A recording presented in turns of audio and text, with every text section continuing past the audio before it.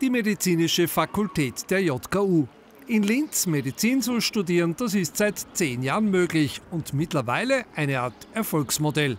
Wir haben inzwischen eine Kohorte von 320 Studierenden, die wir im kommenden Herbst aufnehmen werden. Das ist nur mehr ein bisschen weniger als beispielsweise in Graz oder Innsbruck und damit hat sich eigentlich das Studium voll etabliert und es zeigen auch alle Umfragen, auch Untersuchungen des Ministeriums, dass die Ausbildungsqualität sehr, sehr hoch ist und in vielen Bereichen äh, auch besser eingeschätzt wird von den Studierenden als an anderen Standorten.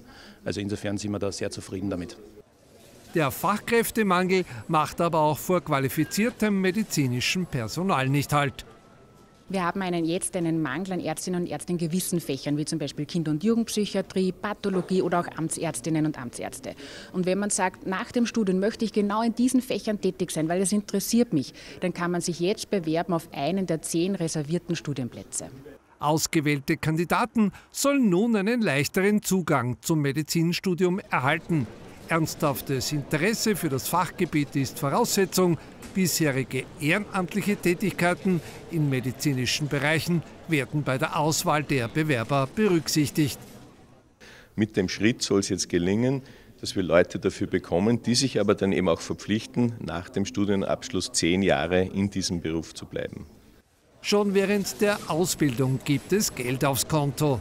Man bekommt 1000 Euro pro Monat und ist gleichzeitig noch krankenversichert, unfallversichert während dem ganzen Studium. Trotz aller Bemühungen und vieler abgeschlossener Medizinstudien herrscht da und dort ein Ärztemangel, vor allem außerhalb der Ballungszentren.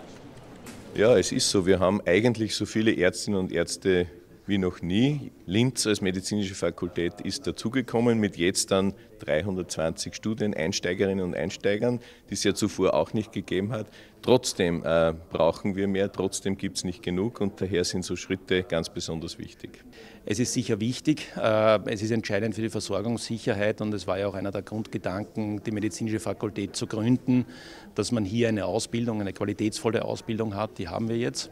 Und dann braucht man natürlich auch noch die Rahmenbedingungen, dass die Medizinerinnen und Mediziner, wenn sie im Studium fertig sind, auch entsprechend hier bleiben. Aber auch unsere Umfragen zeigen, dass der bei weitem überwiegende Teil der Studierenden dann auch in Oberösterreich entsprechende Tätigkeit aufnehmen will. Also insofern sieht man wirklich, dass wir hier einen enormen positiven Einfluss äh, entwickeln konnten. Derzeit sind nur die Krankenhäuser der Gesundheitsholding mit an Bord. Gespräche mit den Ordenskliniken laufen.